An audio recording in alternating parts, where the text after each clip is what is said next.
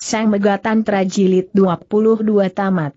Blaar, dua tenaga sakti bertemu dan tubuh tinggi besar itu terhuyung ke belakang.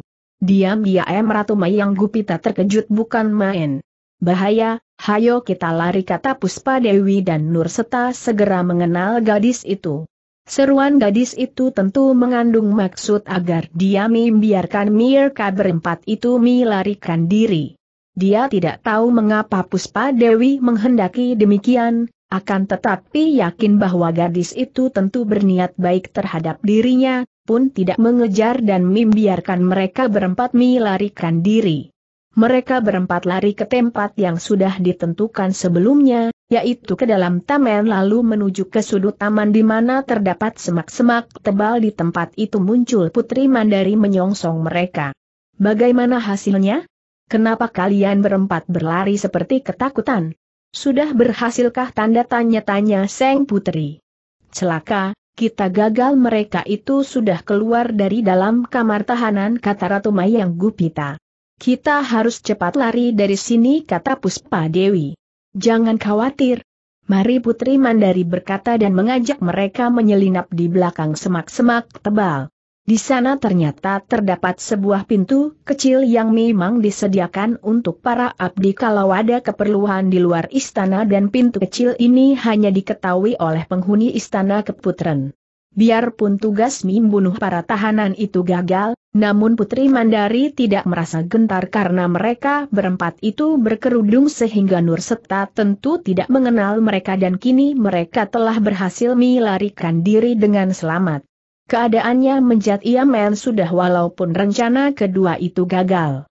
Ia mengharapkan rencana pertama membunuh Ki Patih Narotama berhasil dan terutama yang terpenting adalah rencana ketiga, yaitu mengerahkan pasukan gabungan untuk menyerbu istana dan menggulingkan kedudukan Seng Prabu Erlangga. Biarpun demi membela kerajaan ibunya ia tetap mencelakakan dan membunuh Seng Prabu Erlangga akan tetapi kalau ingat akan kejantanan suaminya itu, ingat akan ketampanan dan kegagahannya, kelembutannya kalau bermesraan, ia menjadi sedih karena maklum bahwa akan sukar mencari seorang pria seperti Seng Prabu Erlangga. Setelah empat orang pembunuh gagal itu keluar dari taman melalui pintu kecil, Putri Mandari masih berdiri termenung. Ia merasa kecewa dan menyesal bahwa usaha empat orang itu gagal. Selagi ia hendak kembali ke istana keputren, tiba-tiba ada bayangan berkelebat, lah sudah siap untuk menyerang, akan tetapi niat itu urung ketika ia mengenal bahwa yang muncul di depannya bukan lain adalah Lasmini, mbak kayunya. Dari sinar lampu taman, ia melihat wajah Lasmini pucat dan tegang. Mbak Ayu Lasmini, ketiwasan, celaka, Mandari. Hayo cepat kita pergi dari sini. Cepat sebelum terlambat kata Lasmini memotong ucapan adiknya. Eh, ada apakah tanya Mandari terkejut dan heran. Jangan banyak bertanya, nanti ku ceritakan. Sekarang, mari kita cepat melarikan diri Mandari dengan ragu menengok ke arah istana. Akan tetapi aku harus mengambil pakaian, dan perhiasan, Aduh, apa artinya semua itu dibandingkan keselamatan nyawamu? Cepat, sebentar lagi Ki Patih Narotama datang dan Seng Prabu Erlangga mendengar tentang kita. Rahasia kita telah pecah. Hayo kita lari mendengar ini, Mandari terkejut dan ia pun menjadi ketakutan. Jelas bahwa usaha Lasmini dan Lingga Jaya membunuh Narotama telah gagal. Kalau hanya gagal tidak mengapa, akan tetapi kalau rahasia mereka berdua yang bersekutu dengan pemberontak, hal itu sungguh berbahaya sekali. Maka, dengan hati tidak kakaruan rasanya mereka cepat melarikan diri melalui pintu kecil itu yang juga diketahui Lasmini sehingga ia tadi masuk ke dari situ. Dua orang putri cantik jelita yang juga sakti itu malam-malam terus melarikan diri menuju ke kerajaan Parang Siluman di sebelah selatan. Tadi ketika menerama surat dari Puspa Dewi, dan setelah mendengar para penjaga bicara sambil tertawa-tawa karena menikmati minuman anggur kemudian suasana menjadi sunyi, Nur Seta lalu menggunakan tenaga saktinya untuk membongkar gembok yang mengunci pintu besi kamar tahanan dengan mudah. Dia keluar dan membongkar gembok di pintu kamar tahanan eyangnya, Ki Sindukerta. Mula-mula Senopati Sindukerta hendak mencela perbuatan Nur Seta karena dia tidak setuju kalau harus melarikan diri dari tahanan atas perintah Seng Prabu Erlangga, kepada siapa dia amat setia dan taat. Akan tetapi setelah Nur Seta menjelaskan apa yang terjadi dia terkejut bukan main bahkan mendesak kepada Nur Seta agar cepat melaksanakan apa yang diminta oleh Puspa Dewi, yaitu membantu Kipatih Narotama menghadapi musuh yang hendak membunuhnya. Nur Seta menanti sampai para pembunuh datang. Dia mendengar ucapan Puspa Dewi yang mengajak tiga orang pembunuh lainnya lari dan dia sengaja tidak merobohkan mereka dan tidak melakukan pengejaran karena dia dapat menduga bahwa tentu gadis itu mempunyai maksud tertentu dengan ucapan itu. Akan tetapi setelah para pembunuh itu pergi, dia berkata kepada Senopati Sindukerta yang tadi bersembunyi dalam kegelapan seperti yang dikehendaki Nur Seta karena dia tidak ingin Eyangnya terancam bahaya maut.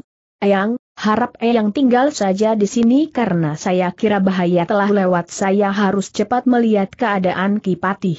Narotama dan kalau perlu membantu beliau yang terancam pembunuhan, benar, Nur Seta, cepatlah pergi ke kepatihan kata Senopati Sindukerta.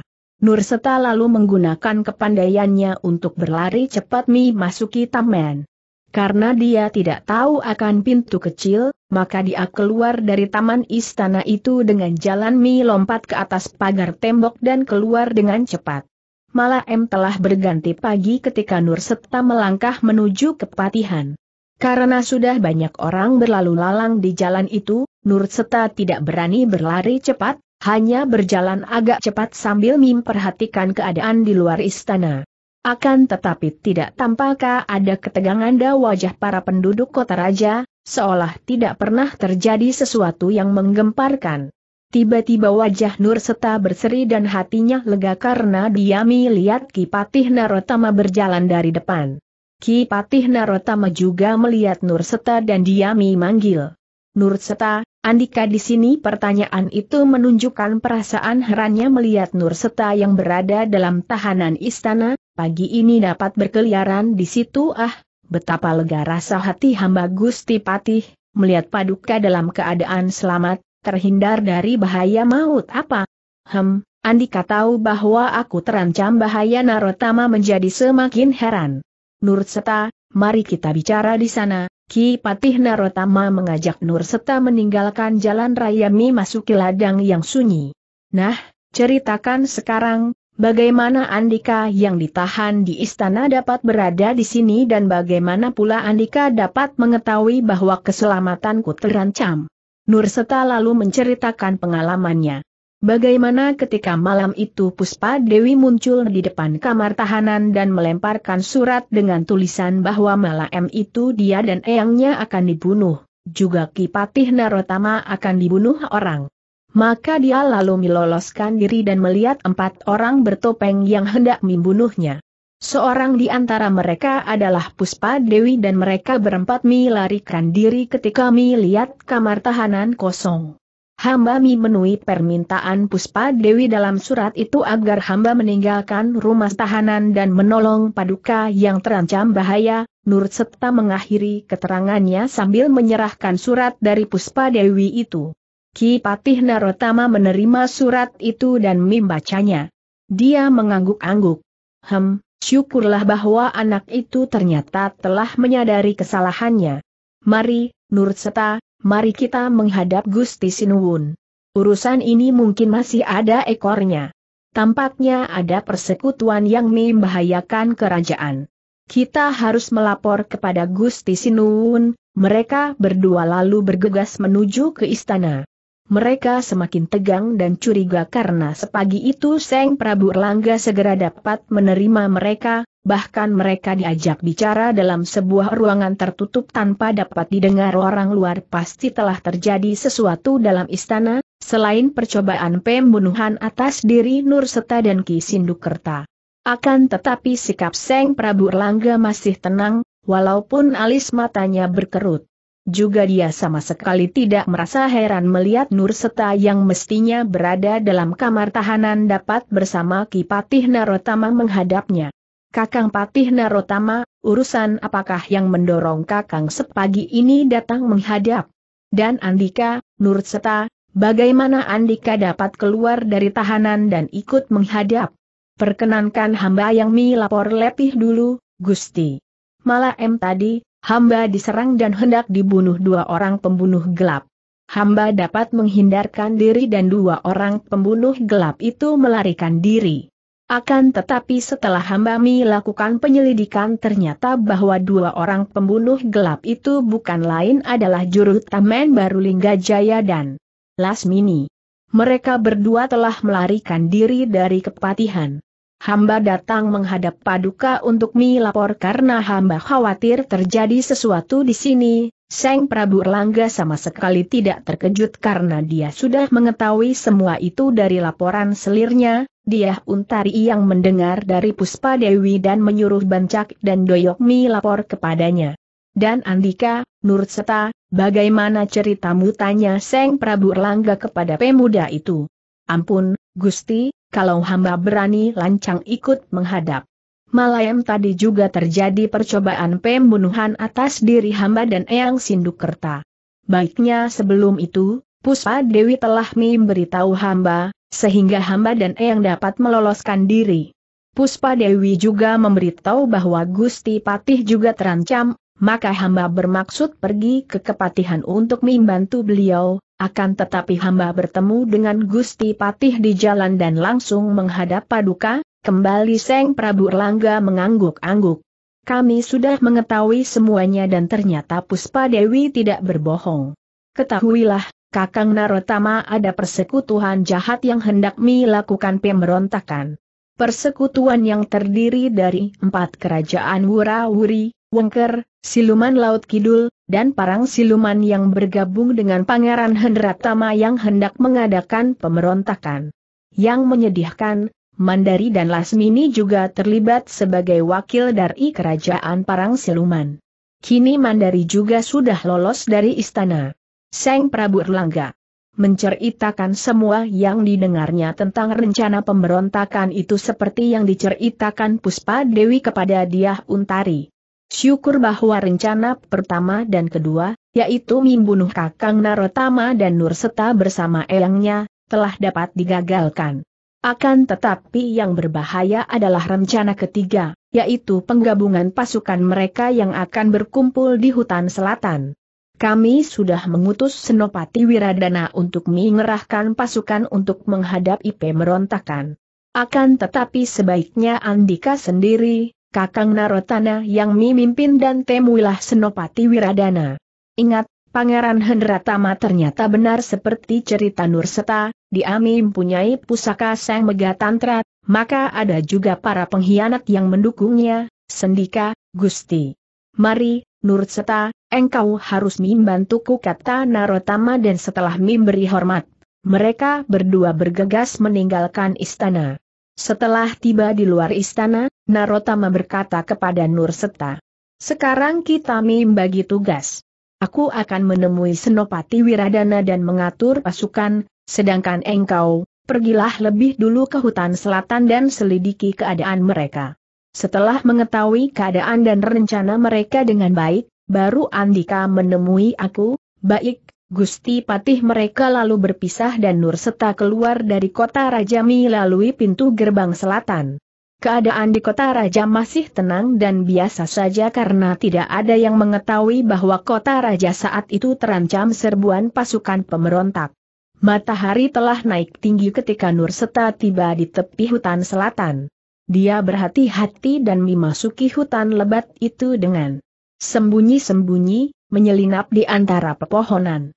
Setelah tiba agak dalam di hutan itu, dia melihat betapa prajurit-prajurit Mi lakukan penjagaan sekeliling tengah hutan di mana terdapat sebuah pondok besar dan beberapa pondok lain yang tampaknya baru saja dibangun. Nurseta mengelilingi tempat itu dan melihat betapa penjagaan amat rapat dan yang mengherankan hatinya, para prajurit itu adalah prajurit kahuripan. Dia menduga bahwa tentu ini pasukan Kauripan yang dipimpin para senopati yang mendukung Pangeran Hendratama. Karena penjagaan ketat dan berbahaya sekali kalau sampai ketahuan, maka dia bersembunyi agak jauh, menanti datangnya malam. Dia akan lebih leluasa bergerak di waktu malam gelap. Sementara itu, di kota raja juga terjadi kesibukan. Ki Patih Narotama bertemu dengan Senopati Wiradana dan memberi petunjuk kepada Senopati itu. Pasukan Kahuripan dikerahkan dan diketahui bahwa beberapa orang Senopati muda telah membawa pasukan mereka pergi entah ke mana. Narotama dapat menduga bahwa pasukan-pasukan yang menjadi pendukung Pangeran Hendratama itu pasti sudah berangkat ke hutan selatan untuk bergabung dengan pasukan dari empat kerataan. Dia intahkan Senopati Weiradana siap untuk diberangkatkan sewaktu-waktu untuk menyerbu para pemberontak di hutan selatan, mendahului mereka sebelum mereka bergerak menyerang kota raja agar tidak menggegerkan rakyat. Untuk itu, dia menanti berita dan nur serta yang sudah dikirim ke sana untuk melakukan penyelidikan. Kemudian, Narotama membawa seregu pasukan dan memimpin sendiri pasukan itu menuju ke gedung tempat tinggal Pangeran Hendratama. Akan tetapi, seperti sudah diduganya terlebih dulu, gedung yang mewah seperti istana itu telah dikosongkan.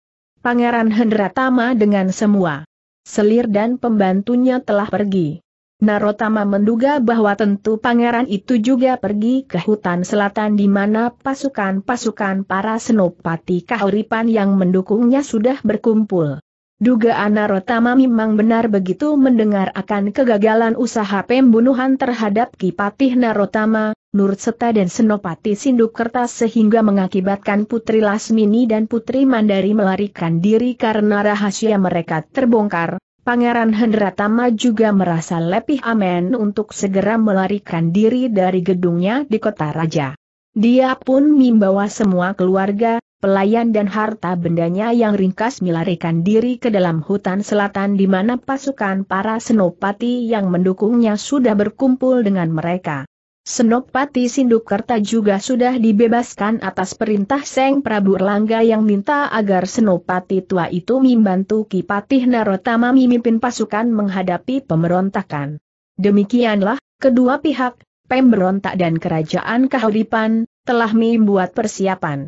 Hanya perbedaannya yang menguntungkan kerajaan Kahuripan adalah bahwa kalau pihak kerajaan sudah mengetahui akan rencana pemberontakan yang menggabungkan pasukan di hutan selatan itu, sebaliknya pihak pemberontak sama sekali tidak tahu pihak kerajaan sudah mengetahui akan rencana mereka dan pihak pemberontak mengira bahwa kerajaan Kahuripan tidak mengadakan persiapan apa-apa sehingga dapat diserbu dengan mendadak dan dapat dikalahkan. Matahari mulai condong ke barat. Nur Seta masih menanti datangnya malam. Dia bersembunyi di atas sebatang pohon besar yang berdaun lebat sehingga tidak akan tampak dari bawah pohon sekalipun. Tiba-tiba dia yang mengintai dari atas pohon melihat seorang gadis berlari terhuyung-huyungi di belakangnya, sekitar belasan dipa jauhnya tampak dua orang gadis lain mengejarnya. Gadis itu rambutnya terurai lepas dari gelungnya berkibar di belakangnya pakaiannya sudah koyak-koyak dan melihat larinya yang terhuyung itu Nur Seta menduga bahwa ia tentu terluka Widarti, berhenti kau serahkan kembali Megatantra kepada kami teriak wanita-wanita yang mengejarnya dan seorang di antara dua pengejar itu meluncurkan anak panah. Anak panah mengenai bahu gadis itu, menancap dan gadis itu mengaduh lalu terpelanting rubuh. Kini Nur Seta teringat, gadis itu adalah Widarti, selir termuda dari Pangeran Hendratama, dan mereka yang mengejar adalah Sukarti dan Kenangasari, dua orang selir Pangeran Hendratama yang lain. Maka cepat Nur Setami layang turun dari atas pohon dan dengan lompatan yang jauh dan cepat, dia telah tiba lepih dulu di dekat Widarti. Sukarti dan Kenangasari terkejut bukan main ketika tiba-tiba mereka melihat Nur Seta di situ. Tanpa banyak capak mereka sudah meluncurkan anak panah menyerang pemuda itu. Namun Nur Seta bergerak maju menghampiri mereka dan ketika empat batang anak panah menyambar ke arah tubuhnya, dia menangkis dengan kibasan kedua tangan dan anak-anak panah itu rubuh. Akan tetapi dua orang gadis cantik itu selir Pangeran Hendratama itu kin menyerang dengan keris mereka, menusukkan keris itu ke arah perut dan dada Nur Seta. Nur Seta menangkis dengan pengerahan tenaga. Plak, plak dua orang gadis itu menjerit kesakitan, keris mereka terlepas dari pegangan mereka dan terlempar dan lengan kanan mereka terasa nyeri bukan main terkena tangkisan tangan Nur Seta. Maklum bahwa mereka berdua bukan lawan pemuda itu, Sukarti dan Kenangasari lalu membalikan tubuh mereka dan melarikan diri secepatnya. Nur Seta tidak memperdulikan Mirka, cepat dia menghampiri Widarti, lalu berjongkok untuk memeriksa keadaan gadis itu. Widarti rebah telentang, memandang kepada Nur Seta dan tersenyum, walaupun senyumnya tak dapat menyembunyikan rasa nyeri yang ditanggungnya. Nur Seta terkejut melihat bahu gadis ini bukan hanya terluka anak panah yang masih menancap di bahunya, akan tetapi juga lambungnya bercucuran darah, agaknya terluka tusukan keris. Luar biasa sekali bahwa gadis itu masih dapat bertahan dan melarikan diri. Nur Seta, terima kasih, engkau datang, aku memang mencarimu, untuk menyerahkan ini, dengan tangan gemetar Widarti mengambil keris dengan warangkanya yang terselip di pinggangnya dan menyerahkannya kepada Nur Seta. Koma ini. Mega Tantra, terimalah, Nur Seta melihat keris itu memiliki gagang dan warangka yang indah. Dia lalu mencabutnya dan alangkah girangnya melihat bahwa keris itu memang Sang Megatantra yang dulu ditukar dengan keris palsu oleh Pangeran Hendratama. Ah, terima kasih Widarti. Jangan banyak bicara, aku akan mencoba mengobati lukamu. Tidak, jangan. Percuma, aku tidak kuat lagi. Akan tetapi, kenapa engkau lakukan ini, Widarti? Mengapa engkau mengambil Megatantra dan menyerahkan kepadaku dengan mengorbankan dirimu? Mengapa napas gadis itu sudah umpas sempis? Agaknya ia sudah mengeluarkan terlalu banyak darah dari luka di lambungnya sehingga wajahnya pucat sekali. Koma aku, ayahku, dibunuh Jahanam Hendratama itu, karena tidak mau ikut memberontak, aku, aku lalu mencuri Megatantra, hendak aku serahkan kepadamu, akan tetapi aku kepergok Sukarti dan Kenangasari, aku terluka, mencoba lari, dan ia terkulai, tidak kuat bicara laki. Widarti Nur Seta mengguncang lengannya. Widarti membuka kembali matanya yang sudah kehilangan cahayanya. Titik. Nur, Nur Seta, aku, maafkan aku, ia terkulai lagi dan ketika Nur Seta memeriksanya, ternyata wanita itu sudah menghembuskan napas terakhir. Gadis malang, pikir Nur Seta dengan hati terharu. Gadis ini terpaksa menjadi selir Pangeran Hendratama karena ayahnya seolah berada di tangan pangeran itu ia terpaksa melayani dan bersikap setia kepada Pangeran Hendratama, akan tetapi akhirnya ayahnya dibunuh juga karena ayahnya tidak mau ikut memberontak dan akhirnya, Widarti membalas denda M dengan mencuri Megatantra untuk dikembalikan kepadanya dan untuk itu ia harus menebus dengan nyawanya. Terima kasih, Widarti, semoga rohmu mendapatkan tempat yang jauh lebih membahagiakan daripada hidupnya di dunia ini, Nur Seta berbisik dan menggunakan jari-jari tangannya untuk metutupkan sepasang metu yang agak terbuka itu. Pada saat itu terdengar suara hiruk pikuk yang datangnya dari arah larinya dua orang selir Pangeran Hendratama tadi. Tentu dua orang selir itu memanggil bala bantuan. Nur Seta cepat menyelipkan keris di pinggang, lalu memondong dan membawa lari jenazah Widarti pergi dari situ. Dia membawa jenazah itu cukup jauh memasuki kota raja sambil memondong jenazah sehingga orang-orang melihatnya dengan heran. Akan tetapi Nur Seta langsung mencari Kipatih Narotama di benteng pasukan. Setelah bertemu, diceritakannya tentang Widarti yang mencuri Sang Tantra dari Pangeran Hendratama dan mengembalikannya kepadanya. Sore hari itu juga Ki Patih Narotama membawa Nur Seta menghadap Seng Prabu Erlangga. Ketika Nur Seta menceritakan tentang Widarti dan keris pusaka Seng Megatantra, lalu mempersembahkan keris pusaka itu, Seng Prabu Erlangga menerima dan mencabut keris pusaka itu. Dia menghela napas. Kasihan Widarti itu. Ia telah berjasa maka Kakang Patih, aturlah agar jenazah Widarti mendapatkan tempat pemakaman terhormat. Sekarang Sang Megatantra tidak berada di tangan Pangeran Hendratama lagi. Terimalah, Kakang Narotama dan pergunakan pusaka ini untuk dilihatkan kepada para senopati yang mendukung Pangeran Hendratama untuk membuktikan bahwa Wahyu Kedaton tidak berada pada pemberontak itu, Narotama mengerti akan maksud Sri Baginda. Dia menerima keris pusaka itu lalu mohon diri, keluar dari istana bersama Nurseta. Nurseta, menurut hasil penyelidikanmu tadi, yang berada di dalam hutan selatan itu hanya pasukan Kamripan? Apakah Handika tidak melihat dari empat kerajaan yang bergabung dengan Pangeran Hendratama itu hamba kira mereka belum datang, Gusti Patih? Hamba melihat betapa sarang mereka itu diketung oleh para penjaga yang terdiri dari prajurit Kahuripan. Kalau mereka sudah datang, tentu akan ada prajurit mereka yang ikut melakukan penjagaan, bagus, kalau begitu, kita serbu mereka sebelum pasukan dari empat kerajaan itu datang bergabung. Kalau diberi kesempatan mereka bergabung, mereka akan menjadi barisan yang kuat sekali. Yang menjadi pelopor adalah Pangeran Hendratama yang mengandalkan pengaruh Seng Megatantra. Kalau dia dihancurkan, kerajaan-kerajaan kecil itu pasti tidak akan berani menyerang sendiri-sendiri. Juga tanpa ada pelopor yang mengaturnya tidak mungkin mereka berempat dapat bersatu karena di antara mereka sendiri sering terjadi bentrokan. Ki Patih Narotama lalu memimpin sendiri pasukan Kahuripan memasuki hutan selatan, dibantu oleh Senopati Wiradana, Senopati Sindukerta, Nurseta dan beberapa orang Senopati lain yang setia kepada Seng Prabu Erlangga.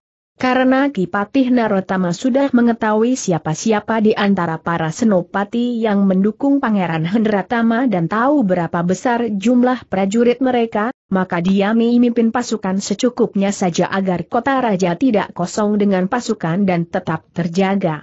Setelah tiba di tengah hutan yang mereka datangi dengan diam-diam, Narotama mengatur barisannya mengepung sarang pemberontak itu. Setelah dikepung rapat, Narotama memberi isyarat dan para prajurit menyalakan obor dan menancapkan obor-obor itu di atas tanah sedang mereka sendiri menjauhi penerangan obor agar jangan menjadi sasaran anak panah musuh.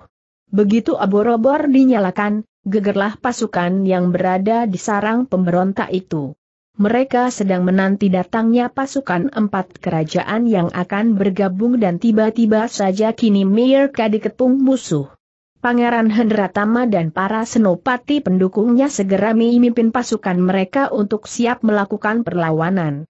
Pangeran Hendratama sedang marah-marah karena keris pusaka Sang Megatantra yang disimpannya telah hilang, padahal yang mengetahui tempat penyimpanan pusaka itu hanya dia sendiri dan tiga orang selirnya yang dia percaya akan kesetiaan mereka. Kemudian datang Sukarti dan Kenangasari yang melaporkan bahwa Widarti yang mencuri pusaka itu dan mereka berdua mengejarnya hanya berhasil merobohkan Widarti akan tetapi tidak dapat merampas kembali pusaka itu karena muncul Nurseta yang melindungi Widarti. Saking kecewa, penasaran dan marahnya, Pangeran Hendratama mengamuk, membunuh Sukarti dan Kenangasari yang dia anggap bersekongkol dengan Nurseta dan sengaja membiarkan Widarti melarikan pusaka itu. Dia sedang marah. Dan kebingungan karena hanya pusaka itulah yang menjadi andalannya untuk menarik para senopati untuk mendukungnya. Dia merasa telah menemukan pusaka yang menjadi wahyu kedaton sehingga dia sudah ditentukan oleh para dewa untuk menjadi raja. Dan kini pusaka itu hilang. Selagi dia marah dan kebingungan, terjadi geger bahwa sarang mereka dikepung bala tentara Kauripan. Para prajurit pasukan pemberontak menjadi panik dan karena ketakutan mereka lalu menyerang dengan anak panah secara ngawur karena biarpun di sekeliling sarang itu terang benderang oleh ribuan obor, namun pihak musuh tidak tampak. Tiba-tiba terdengar suara yang nyaring sekali sehingga terdengar oleh semua prajurit anak buah pemberontak. Dengar dan lihat baik-baik, para perwira dan tamtama kauripan yang mi merontak. Aku Kipatih Narotan Ami memperingatkan bahwa kalian telah ditipu oleh pengkhianat Hendratama suara Kipatih Narotama terdengar lantang sekali karena patih yang sakti mandraguna ini mengerahkan tenaga saktinya sehingga suara itu terdengar nyaring dan jelas. Pangeran Hendratama melihat Kipatih Narotama berdiri di atas sebuah batu besar. Dia lalu Mi merintahkan anak buahnya untuk menghujankan anak panah kepada Kipatih Narotama. Puluhan batang anak panah meluncur ke arah patih yang berdiri di atas batu besar dan tampak jelas karena disinari beberapa batang obor yang ditancapkan di sekeliling batu besar. Akan tetapi, Nur Seta yang sudah berada di situ dan memang bertugas melindungi Kipatih Narotama, Mi lompat dan Mi mutar sebatang ranting. Tubuhnya berkelebatan seperti tatit dan ranting di tangannya itu menjadi gulungan sinar yang menangkis semua anak panah yang Mi luncur ke arah tubuh Narotama.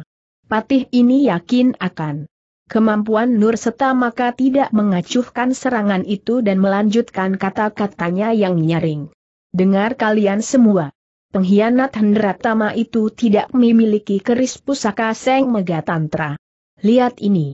Keris pusaka Seng Megatantra telah kembali kepada Gusti Sinuwun, Seng Prabu Erlangga. Ini buktinya, kalian lihat sendiri Narotama mengacungkan keris Megatantra ke atas sehingga dapat dilihat semua orang. Para senopati yang mendukung Pangeran Hendratama terkejut melihat keris pusaka di tangan Kipatih Narotama itu. Bohong, dia bohong. Sang Megatantra ada padaku Pangeran Hendratama berteriak dengan khawatir dan bingung, tidak mengira bahwa pusaka yang dicuri oleh Widarti itu kini telah berada di tangan Kipatih Narotama kalau dia bohong, coba perlihatkan pusaka Megatantra itu, Pangeran kata seorang senopati yang diturut oleh yang lain. Ada, ada kusimpan baik-baik kata Pangeran Hendratama mari kita gempur pasukan kerajaan itu pada saat itu terdengar sorak-sorai dari arah selatan. Seorang prajurit yang bertugas jaga di bagian selatan, datang berlari-lari dan melaporkan kepada Kipatih Narotama Gusti Patih, pasukan parang siluman dan wengker sudah datang dari arah selatan. Jumlah Miyerka semua sekitar 3.000 orang lebih mendengar laporan ini, Narotama kembali berseru dengan suara lantang. Dengarlah, para senopati yang tertipu oleh pengkhianat Hendratama. Kalau kalian membantu kami menyerang pasukan parang siluman dan wangker yang datang itu, tenaga dosa kalian akan diampuni. Sebaliknya kalau kalian melanjutkan pemberontakan mendukung pengkhianat Hendratama dan bergabung dengan empat kerajaan musuh, kalian semua akan dibinasakan. Mendengar seruan lantang ini, para senopati merasa bimbang ragu. Sementara itu, pasukan parang siluman yang dipimpin sendiri oleh Kinaga Kumala, yaitu kakak Ratu Durga Mala, ditemani kedua orang keponakan juga muridnya, yaitu Lasmini dan Mandari, sudah tiba di luar sarang itu dan terjadilah bentrokan perang dengan pasukan Kahuripan. Juga pasukan kerajaan Wengker yang dipimpin oleh Resi Bajra Sakti dan muridnya, Lingga Jaya, sudah bertempur melawan pasukan Kahuripan yang mengepung sarang itu di bagian barat daya. Tiba-tiba para senopati yang tadinya mendukung Pangeran Hendratama, berseru memberi perintah kepada pasukan mereka. Terdengar teriakan-teriakan menggegap Gempita. Hidup Kipatih Narotama. Hidup Seng, Prabu Ertangga dan mereka sudah bergerak ke selatan dan barat daya untuk membantu pasukan kerajaan Kahuripan menyambut dan menyerang pasukan Parang Siluman dan Wangker. Ki Patih Narotama tersenyum lega. Siasatnya berhasil. Pasukan yang tadinya mendukung Pangeran Hendratama yang hendak memberontak itu telah dapat disadarkan dan kini mereka menambah kekuatan pasukannya untuk menghadapi pasukan kerajaan-kerajaan yang sejak dulu memang memusuhi kahuripan. Maka dia lalu memberi aba-aba yang diteruskan para perwira untuk mengumpulkan pasukan dan menyerbu ke dalam sarang musuh. Dia sendiri bersama Nur Setami mimpin paling depan. Karena yang berada di sarang itu hanya pasukan para senopati kahuripan yang mendukung Pangeran Hendratama dan kini hampir semua pasukan telah membalik dan menyerang pasukan parang siluman dan wangker yang baru tiba, maka pasukan Narotama yang memasuki sarang itu tidak mendapatkan perlawanan yang berarti. Sebagian dari mereka yang benar-benar setia kepada Pangeran Hendratama dengan mudah dirobohkan atau ditawan. Pangeran Hendratama menjadi panik melihat pasukan yang mendukungnya kini nimbalik malah menyambut kedatangan pasukan parang silumen dan wengker dengan serangan. Perasaan takut lebih besar daripada kemarahannya. Dia maklum bahwa usahanya merebut tahta kerajaan dari Seng Prabu Erlangga telah gagal total. Maklum akan bahaya yang mengancam dirinya, dia sudah bermaksud untuk melarikan diri, akan tetapi tiba-tiba di antara sinar obor-obor yang begitu banyak sehingga cukup menerangi tempat itu, tahu-tahu Kipatih Narotama sudah berdiri menghadang di depannya Pangeran Hendratama, permainan Andika sudah usai. Menyerahlah untuk kami tangkap dan kami hadapkan kepada Gusti Sinuwun kata Kipatih Narotama. Sesosok bayangan lain berkelebat dan Nur Seta berdiri di samping Kipatih. Melihat dua orang ini, Pangeran Hendratama menjadi pucat wajahnya. Apalagi melawan keduanya, baru melawan seorang di antara mereka saja dia takkan menang. Namun karena keadaan sudah membuat dia tersudut, dia menjadi nekat. Dengan tombak pusaka yang sejak tadi memang sudah dibawanya, dia menyerang Kipatih Narotama sambil mengeluarkan suara gereng seperti seekor harimau marah. Kipatih Narotama melompat ke belakang. Nurseta, kuserahkan dia kepadamu. Tangkaplah agar dapat kita hadapkan Gusti Sinuwun Sendika, Gusti Patih kata Nur Seta yang maklum bahwa Ki Patih Narotama mempunyai tugas yang penting, yaitu mengatur pasukan untuk menghadapi dua pasukan musuh dari Parang Siluman dan Wangker. Pangeran, memang lebih baik kalau Andika menyerah, katanya sambil menghadapi pangeran yang sudah nekat itu. Melihat pemuda yang dianggap menjadi gara-gara kegagalan ambisinya itu, Pangeran Hendratama menjadi semakin marah dan dia mengeluarkan jurus-jurus terampuh dari ilmu. Tombaknya dan mengerahkan seluruh tenaganya untuk menyerang dan membunuh Nur Seta. Akan tetapi, dengan ilmu meringankan tubuh yaitu Aji Bayu Sakti Nur Seta yang bertangan kosong memainkan ilmu silat Bakademta, tubuhnya berkelebatan seperti berubah menjadi bayangan sehingga Pangeran Hendratai menjadi bingung. Dia merasa seolah menyerang sebuah bayangan. Karena lawan seolah tidak mungkin diserang, Pangeran Hendratama memutar tumbak sehingga sinar tumbak itu menjadi perisai yang melindungi dirinya. Dengan demikian, biarpun dia tidak dapat menyerang lawan, lawan pun sukar untuk dapat menyerangnya. Kalau saja Nur Seta menghendaki, tentu dia akan mampu merobohkan pangeran itu dengan pukulan jarak jauh yang ampuh. Akan tetapi dia tidak ingin membunuh atau melukai pangeran ini yang bagaimanapun juga adalah kakak ipar Seng Prabu Erlangga sendiri.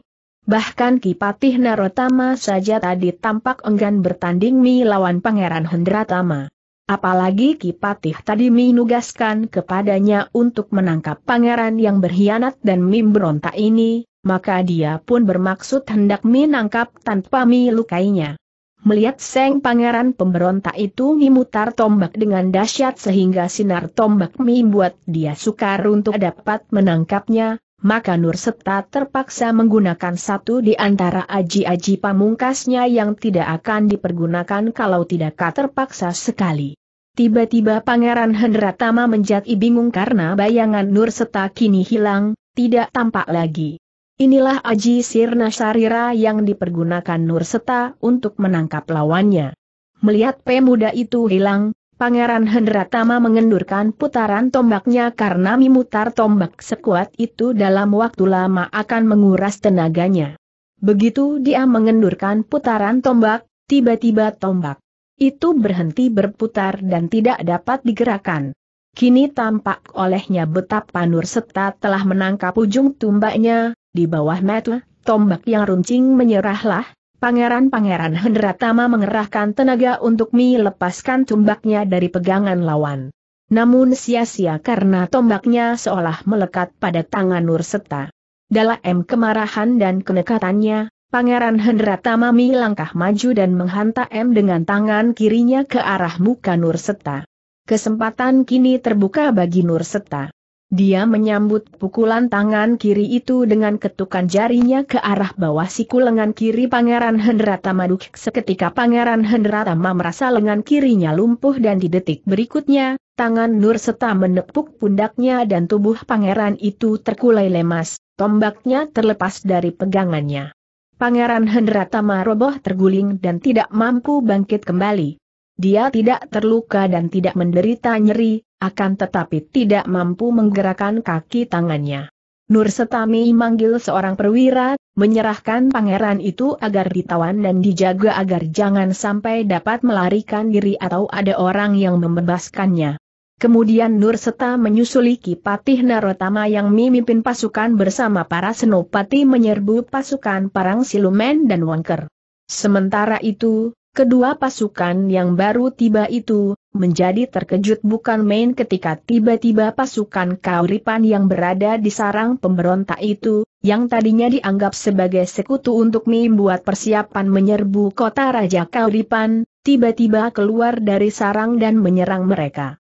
Apalagi mendengar teriakan-teriakan mereka yang menyerukan hidup Seng Prabu Erlangga dan Kipatih Narotama. Baik mereka yang memimpin pasukan Lengker, yaitu Resi Bajra Sakti dan Lingga Jaya, maupun mereka yang memimpin pasukan Parang Siluman, yaitu Lasmini, Mandari dan Pamen atau guru mereka, Kinaga Kumala, semua merasa gentar mendengar bahwa Seng Prabu Erlangga dan Kipatih Narotama turun tangan sendiri memimpin pasukan.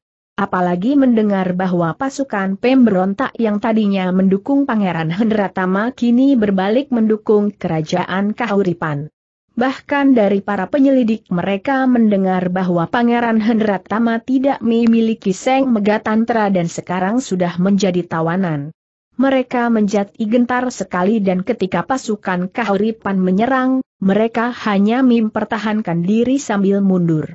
Melihat jumlah pasukan kerajaan Kahuripan yang bergabung dengan bekas pendukung Pangeran Hendratama jauh lebih besar dari jumlah mereka, apalagi karena sudah merasa gentar karena di pihak Kahuripan terdapat Seng Prabu Erlangga dan Kipatih Narotama yang sakti mandraguna dibantu pula oleh Nur Seta yang juga memiliki kepandaian tinggi, nyali para pemimpin itu menciut dan akhirnya, setelah terang tanah, mereka menarik mundur pasukan dan melarikan diri, kembali ke daerah masing-masing usaha persekutuan empat kerajaan yang membantu Pangeran Hendratama melaksanakan pemberontakan di Kahuripan itu gagal sama sekali. Mengapa pasukan dua kerajaan lain yang juga bersekutu dengan mereka, yaitu kerajaan Siluman Laut Kidul dan Wura-Wuri, tidak muncul malam itu? Ini adalah karena pasukan siluman Laut Kidul yang paling jauh letaknya di pesisir Laut Kidul, datangnya terlambat, yaitu pada keesokan harinya setelah siang. Ketika mereka memasuki hutan, mereka melihat bekas pertempuran dan dari mereka yang terluka mendengar bahwa pasukan Wengker dan Parang Siluman lelah terpukul mundur dan melarikan diri. Tentu saja mereka terkejut dan menjadi gentar, apalagi mendengar bahwa Pangeran Hendratama telah tertawan dan pasukannya membalik dan membantu pasukan Kahuripan. Maka, Ratu Mayang Cupita dari Kerajaan Siluman Laut Kidul yang memimpin pasukan, lalu intahkan pasukannya untuk kembali dan pulang ke selatan. Sementara itu, pasukan dari Wura-Wuri datangnya malah lebih lambat lagi, terlambat dua hari dari malam yang ditentukan. Hal ini adalah Puspa Dewi memberi laporan yang sengaja dibuat agar pasukan itu datangnya terlambat. Maka ketika pasukan itu tiba di hutan, mereka tidak melihat sekutu mereka dan karenanya, Trikala yang memimpin pasukan itu bersama Puspa Dewi lalu menarik pasukan untuk kembali. Dalam gerakan ini, tiga orang senopati wura-wuri itu, Kalamuka, Kalamanik, dan Kalateja tidak melihat Puspa Dewi. Setelah dicari mereka yakin bahwa gadis itu telah meninggalkan pasukan Wura-Wuri dan pergi entah ke mana. Dalam perjalanan kembali ke kota raja, Nur Seta berjalan di samping Kipatih Narotama dan mereka bercakap-cakap. Kaipatih Narotama merasa lega dan girang bahwa pemberontakan itu dapat digagalkan tanpa pertumpahan darah yang besar dan hanya mengakibatkan tewasnya beberapa puluh orang saja. Pangeran Hendratama juga sudah dapat diringkus dan menjadi tawanan dan yang lebih membuat girang adalah bahwa pasukan para senopati yang mendukung pemberontakan dapat disadarkan sehingga akhirnya mereka membalik dan membelah kauripan. dia pasti akan dimintakan ampun kepada Seng Prabu Erlangga untuk para senopati yang terkena bujukan Pangeran Hendratama itu sehingga mereka tidak dihukum terlalu berat. Akan tetapi dia MDA MKI Patih Narotama mengakui bahwa yang paling besar jasanya sehingga pemberontakan ini dapat dengan mudah ditumpas adalah Puspa Dewi. Nurseta, aku ingin sekali mengetahui bagaimana nasib Puspa Dewi darah itu berjasa besar terhadap kahuripan. Kalau tidak ada Puspa Dewi yang membocorkan rahasia persekutuan itu, tentu akan terjadi hal-hal yang lebih hebat lagi sehingga mengakibatkan jatuhnya banyak korban, paduka benar, Gusti Patih. Puspa Dewi memang berjasa besar sekali. Ia telah menjadi putri istana Wurawuri, Entah apa yang menimpa dirinya kalau Raja Wurawuri mengetahui akan perbuatannya yang tentu dianggap sebagai pengkhianat oleh kerajaan Wurawuri, ya, aku pun berpikir demikian dan mengkhawatirkan nasibnya. Akan tetapi, jasamu juga amat besar, Nur Seta. Maka, akan kuhaturkan kepada Gusti Sinuun tentang semua jasamu agar engkau mendapatkan kedudukan yang sepadan dengan jasamu, maafkan hamba, Gusti Patih. Akan tetapi apa yang hamba lakukan semua itu bukan untuk membuat jasa dan mendapatkan imbalan, melainkan untuk melaksanakan kewajiban hamba. Hamba tidak menghendaki imbalan apa pun, Gusti Patih, apalagi kedudukan yang mengikat hamba, padahal hamba masih harus melaksanakan tugas lain yang amat penting, Tugas apakah itu, Nur setelah hamba harus mencari ayah ibu hamba dan mengajak mereka menghadap Eyang, juga hamba masih ingin bebas merantau untuk meluaskan pengalaman hamba, HMM, bagus, itukah kehendakmu Narotama mengangguk-angguk. Adalah hakmu untuk memilih dan kalau engkau memilih hendak merantau mencari orang tuamu, Aku hanya titip pesan kalau engkau bertemu dengan Puspa Dewi agar memberitahu bahwa aku dan Gusti Sinun ingin bertemu dan bicara dengannya, baik, Gusti Patih. Dan ingatlah selalu akan peristiwa pemberontakan Pangeran Hendratama, Nurseta. Peristiwa itu dapat kita jadikan sebagai contoh betapa bahayanya kalau orang mengejar cita-cita, akan tetapi, Gusti Patih. Bukankah seorang manusia, apalagi sewaktu muda, harus mempunyai cita-cita yang baik agar mencapai kemakmuran dan kebahagiaan hidup? Ki Patih Narotama mengajak Nur Seta berhenti di tepi jalan untuk bercakap-cakap. Justru pendapat itulah yang menjerumuskan banyak orang, Nur Seta.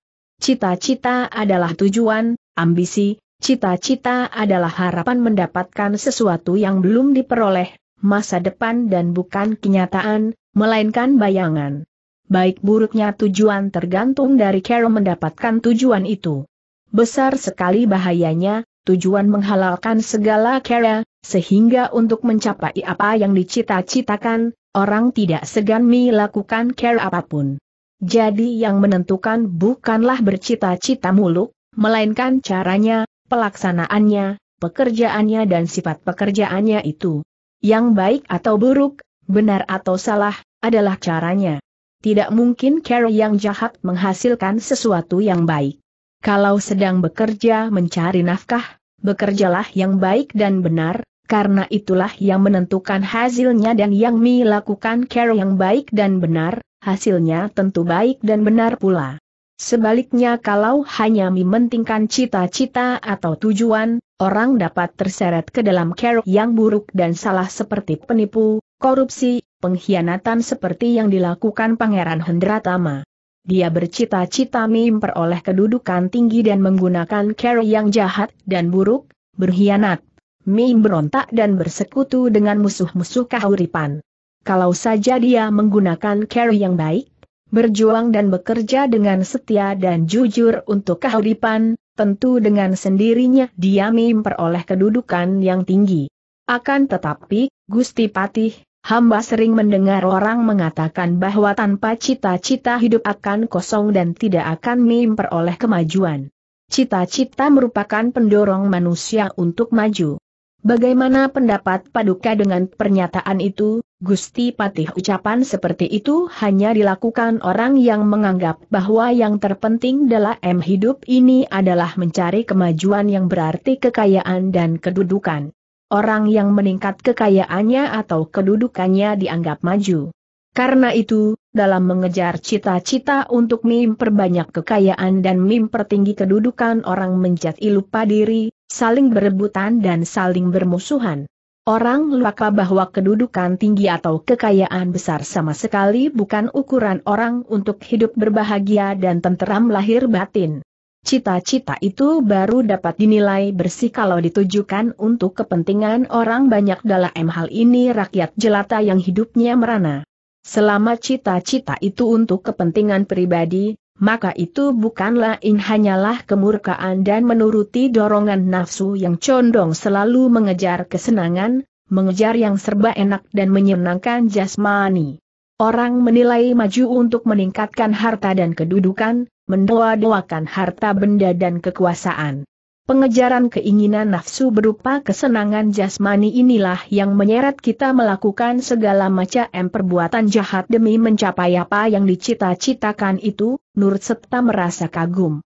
Pendapat yang dikemukakan Kipatih Narotama ini sungguh berbeda, bahkan berlawanan dengan pendapat umum tentang cita-cita, akan tetapi dia dapat menangkap kebenaran yang terkandung di dalamnya. Karena dia ingin mengerti lebih banyak, dia berkata lagi. Hamba masih mempunyai sebuah pertanyaan tentang cita-cita, Gusti Patih, yang hamba harap dapat menerima penjelasan dari Paduka. Bagaimana kalau ada yang bercita-cita menjadi orang yang baik? Apakah juga tidak ada gunanya? Dan juga berbahaya karena menjurus ke arah menghalalkan segala cara untuk mencapai tujuan, yaitu kebaikan Narotama tersenyum. Apakah handikap pikir kebaikan atau kebajikan itu merupakan sesuatu yang dapat dicapai melalui suatu care atau pelajaran? Ah, Nur Seta.